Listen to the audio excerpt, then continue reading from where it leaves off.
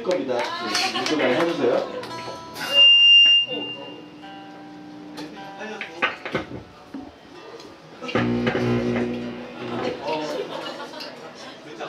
이렇게 길게 공연하려니까 굉장히 가네요. 이제 세 곡 남았어요. 세 곡 남았고 세 곡 남았고 다음 곡은 발라드예요. 그 마치 비틀즈 Yesterday처럼 잠깐 쉬어가는 코너 뭐 그런 거예요. 네, 잠깐 들어보세요.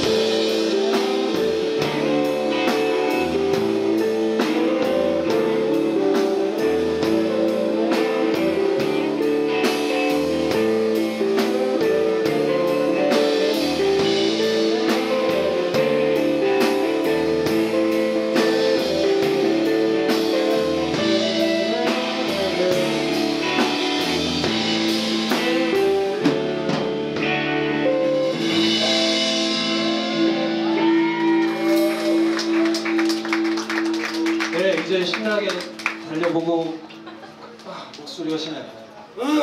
신나게 달려.